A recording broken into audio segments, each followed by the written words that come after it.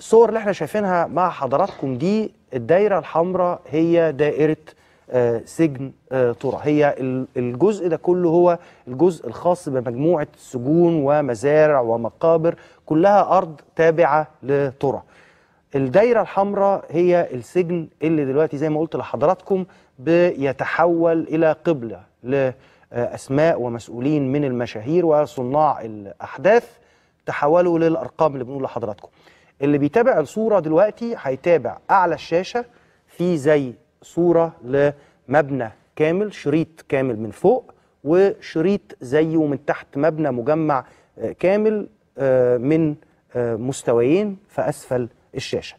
في النص بالظبط هنلاقي إنه في أو في النص الأسفل من الشاشة هنلاقي في ملعب تنس ولهذا الملعب قصة لأنه وفقا لمعلوماتنا تم بناؤه على نفقة أحد هنشوفه مع حضراتكم دلوقتي الملعب التنس ده تم إقامته على نفقة أحد رجال الأعمال أثناء وجود آه، أحد أعضاء أسرته في السجن في سنوات سابقة.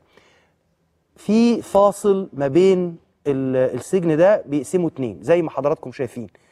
الجزء الأسفل من الشاشة الخط الأصفر هو اللي بيقفل على العنبر اللي بيمتد 127 متر بتكلم مع حضراتكم على على النص التحتاني من الشاشة 127 متر في 17 متر. ده الجزء اللي دلوقتي فيه زنازين موجود فيها القيادات والمشاهير الكبيرة اللي دخلوا على ذمة التحقيق في آه، قضايا مختلفة. الشخصيات اللي حضراتكم شايفينها دي وفي نهايتها نجلي الرئيس السابق بيتريضوا في المربع الأبيض مساحة التريض اللي فوق بالظبط وزير الإسكان الأسبق محمد إبراهيم سليمان فوقه على طول في مربع أبيض بيتريضوا فيه لمدة ساعتين. ملعب التنس مش عارفين إذا كانوا بيلعبوا تنس ولا لأ ولكن الخط الأصفر هو الحد ما بين هؤلاء وما بين المساجين الآخرين المساجين الجنائيين. النهارده زي ما حضراتكم إحنا حبينا بس نحط الصور كاملة والمعلومات قدام حضراتكم آه إن إحنا نفهم المنطقة اللي بنتكلم عليها آه نتمنى على الله إنه طبعا ما يحكمش على أي حد إنه يكون من الإيراد أو الوارد الجديد لهذه المنطقة لهذا السجن. لكن حاولنا نحط قدام حضراتكم سواء كان طورة بنتكلم هنا عن معلومات عن طورة عن العزل ما بين الس- السجناء الجنائيين وما بين السجناء مش عارف إذا كان الواحد يقدر يقول السجناء من طبقة ال- النجوم السابقين ونجوم حاليين. المشاهير حاليا اللي كل الصحف والجرايد بتحاول تفهم يومياتهم ساعتين في المساحة البيضاء اللي فوق آه، زكريا عزمي ومحمد إبراهيم سليمان دي المساحة اللي بيتريضوا فيها لمدة ساعتين وملعب التنس اللي أقيم على آه، نفقة أحد رجال الأعمال الخاصة في مرحلة من المراحل. هل قلت أي معلومات آه، غير دقيقة يا فندم في ال- في اللي أنا قلته ده؟ أو أنا- معلومات يا ريت تصلحها. آه، آه، هوضح لحضرتك السجن طرة من السجون المؤمنة تأمين جيد جدا. ومنطقة طرة مش لا تشمل سجن مزرعة طرة لوحده إنها أيوة. بتشمل ست سجون مختلفة. بيفصل بينها أسوار. إحنا اخترنا السجن ده على الرغم إن هو مش أحسن السجون. يعني عندنا السجن المرج أفضل منه. يعني إيه آه، سجن أفضل من سجن؟ من حيث التجهيز. من حيث التجهيز سجن طرة سجن قديم. لكن بيتميز بشيء بشيئين. الشيء الأولاني إنه آه، السجن آه، شديد التأمين. بحيث إن لا يستطيع أحد أن يهرب منه ولا يستطيع أحد مهاجمته. سجن المرج كان اتهاجم وهرب منه 700 سجين تقريبا. ال- الحاجة التانية إن سجن آه، آه، مزرعة طرة آه، آه، قريب جدا من أماكن التحقيق. وسهل جدا لأنه على الأوتوستراد بيطلع لأن يوميا بيخرج ناس منهم للتحقيقات وبترجع تاني. فالصوت اللي بيدعو إلى تشتيتهم في عدة سجون ده يتعارض مع مع التأمين ويتعارض مع سرعة عرضهم على النيابات. لأن لو وديت ناس منهم في بنها سجن بنها ولو وديت ناس منهم في سجن الفيوم ولو وديت ناس منهم في سجن ال- المرج علشان أجيبه في ميعاد التحقيق هيبقى ده عملية شاقة جدا على الأمن. لكن في نفس الوقت وجودهم مع آه، بعض في نفس المكان آه، في رأي بيقول إن هم هينسقوا إن هم هي- هيتبادلوا المعلومات والأقوال وممكن يكون ليهم آه، يعني قدرة كبيرة على إنهم ينسقوا حاجات ممكن تحصل بره السجن. هقول لحضرتك ال ال اليوم بتاع المحبوس الاحتياطي منهم بيبدأ إزاي؟ يبدأ الساعة 7 صباحا. بفتح الزنازين ويغلق الساعة 5 مساء. في خلال الفترة دي أه، لكل واحد منهم الحق في ساعتين تريض ولكن لا يتم فتح الزنازين دفعة واحدة. انها بتتم أه، ب- فتح جزء جزء يعني بناخد مثلا أرقام فردية واحد وثلاثة اثنين وأربعة آه، بياخد آه، فترة التريض بتاعته في ناس منهم ما بتخرجش أساسا زي مين يا فندم؟ من ال- يعني بدون ذكر أسماء يعني في ناس بتفضل إن تعتكف داخل ما تاخدش ساعتين الترايض خالص؟ ما بيخرجش. أو أحيانا يخرج يعني يتمشى ويرجع. آه، في ناس منهم عندها عندها جلسات تخرج للجلسات في ناس منهم عندهم زيارات. في ناس منهم حالتها الصحية ما تستحملهاش. آه، فبيفضل إنه يعتكف على السرير بتاعه وما بيخرجش. هل ده ممكن آه، نرجعه لمسألة إنه إحنا سمعنا إنه ال- برضه الزنازين بيبقى فيها يعني نوع من ال- من الرفاهية أو نوع من الحياة اللي ممكن الواحد يعيش. إحنا سمعنا عن إطلاقاً. تلفزيونات وسمعنا عن تكييفات. آه، هقول لحضرتك حاجة اوضح للسادة ال- الم- المشاهدين. آه، سجن طرى لا يختلف ابدا عن أي سجن على مستوى الجمهورية. لأن كل سجن على مستوى الجمهورية آه، في كل عنبر فيه تلفزيون يشاهد القنوات الأرضية مراوح سقف علشان توفر كل هواء. عنبر ده غير كل زنزانة. ما هو في عنبر وفي آه، آه، هو السجون في عنابر وفي زنازين. تمام. الزنزانة بتاخد اتنين تاخد ثلاثة تاخد خمسة حسب اتساعها. أيوه. وحسب آه، أقدمية السجن يعني سجن قديم. زي سجن طرة سجن طرة يعتبر أقدم سجن في جمهورية مصر العربية. اللي أنشئ في أكثر من 100 سنة. آه، لكن ال- ال- ال- السجون الحديثة فيها غرف أكبر تاخد من 15 إلى 20 أيوه فجميع الغرف أو جميع الزنازين مزودة بتلفزيونات آه، علشان يشاهد القنوات الأرضية ومراوح سقف عشان توفر له هواء شفاطات عشان تطرد الهواء الفاسد ومبردات عشان مية ساقعة ومية سخنة بالنسبة للزنازين اللي في السجون القديمة بنحط لهم سخانات كهربائية بالنسبة للسجون الحديثة آه، بيبقى في غلايات كبيرة بتدفع المياه. الساخنة إلى داخل الزنازين عشان ال- المسجون يستمتع بالمياه الدافية في الشتاء وده بينطبق على جميع السجون وده آه، مصلحة السجون بتنفذه على نفقتها تنفيذا للاستراتيجية الر- ال- ال- ال- في الاستراتيجيه ال- الهامة آه، في وزارة الداخلية وهي الدفع الدائم في اتجاه الإعلاء من قيم حقوق الإنسان.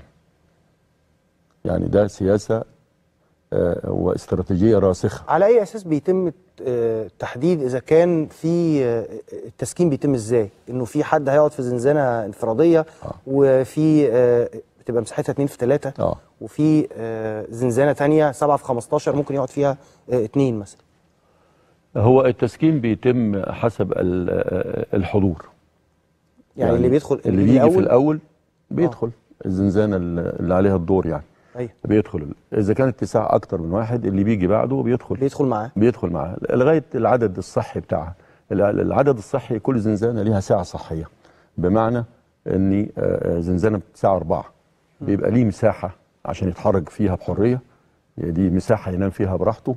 مساحة توفر له كمية من الهواء النقي عشان يستنشقه ودي بتسمى الساعة الصحية. إذا اتملت الزنزانة خلاص بنقفل عليها. إيه الاعتبارات يا فندم اللي بيتم؟ يعني بصراحة شديدة. وده طبيعي. يعني آه. أنا بيتهيألي إنه ده ده ادمي وانساني آه.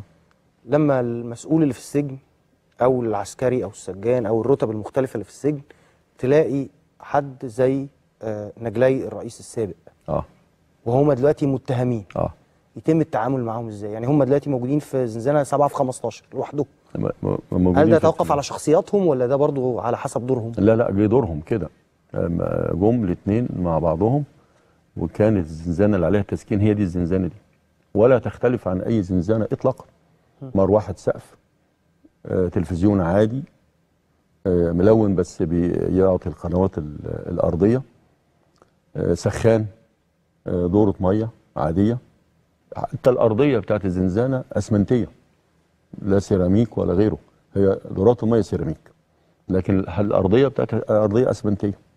وسجن ترى كان فيه كتير جدا جدا من ال ال يعني بعض الشخصيات المعروفة في الدولة. وممكن إن الناس تسألهم ويسألوهم عن الزنازين دي. إحنا عارفين إيه. دايما إنه كان ال ال السجين اللي بيبقى مرتبط بعمل سياسي بيتعامل بشكل مختلف عن الجنائي. ده ده المعرفة العامة. آه. لكن دلوقتي المساجين الموجودين في في طرة ال 26 آه آه. من كبار المسؤولين السابقين. آه. بيتعاملوا على إنهم آه، جنائيين زيهم زي الناس ولا بيتعاملوا بشكل مختلف بسبب مناصبهم السابقة؟ اطلاقا اطلاقا. بيتعاملوا معاملة عادية جدا. بيتفتح عليهم سبعة الصبح ويتقفل عليهم خمسة مساء. له حقوق بيستمتع بيها وده بتطبق على جميع المحبوسين الاحتياطيين. المحبوس الاحتياطي له حقوق.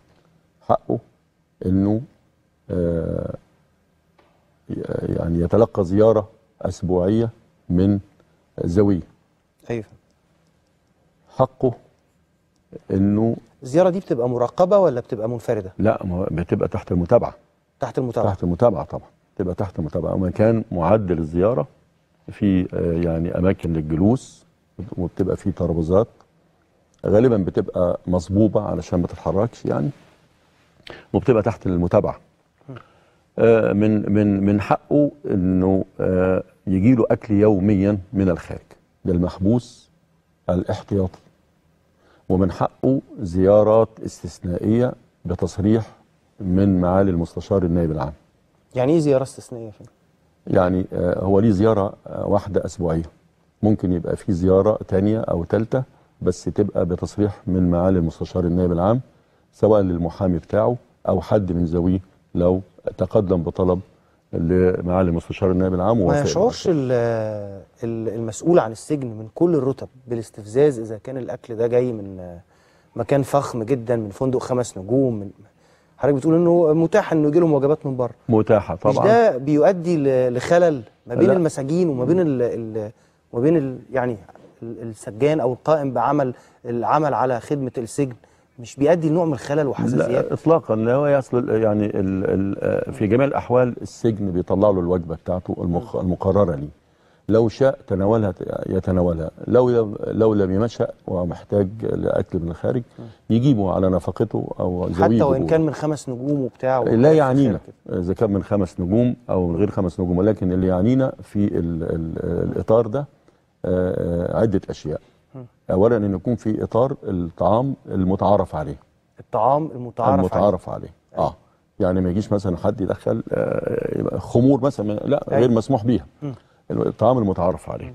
ويكون في حدود الاستهلاك الشخصي. وفي أيوة. حدود استهلاك اليوم الواحد.